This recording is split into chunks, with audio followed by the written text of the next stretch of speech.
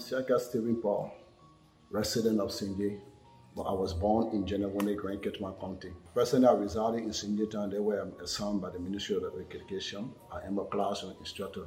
I nominated Paul based on his numerous contributions in the school and even in the community.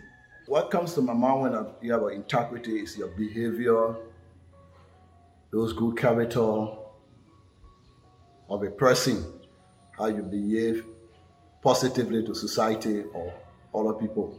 As for me, from the time I, I, I've been here, I'm a science, I can't remember a teacher ever brought a complaint to me about his behavior towards them. All have students here in the school that he's paying for and that he's taking care of. They are on his own wall or scholarship, I can say. He's taking care of them.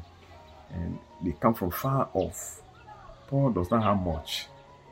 Paul is, is somebody who is actually um, just managing with things for himself. In a country where we find ourselves today, where teachers are not respected, they have salary disparity, say people with degree getting low money, and even the salary are now coming full with very, very little.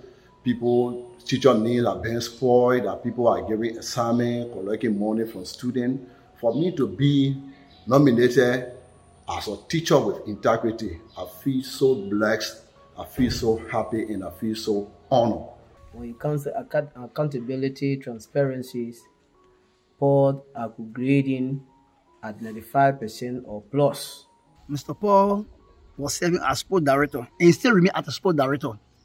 We have gone for uh, uh, uh, our, our, our, our district league, which every district participated in in Tewor district, Sinje won the trophy. Teaching has made me to be a role model to other people.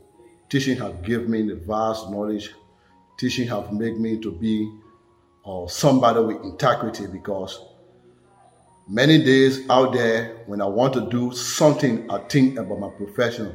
Paul is very much energetic. He's very, very, very honest. And in this light, he was always around with, with us as administration to make sure things happen the way it's supposed to happen. I believe taking money from my student is against my ethic. It won't be good for my society. He's one of the young men that whenever when it comes to or, or, or respect regarding people in the community, I know I trust myself and I'm knowing for that.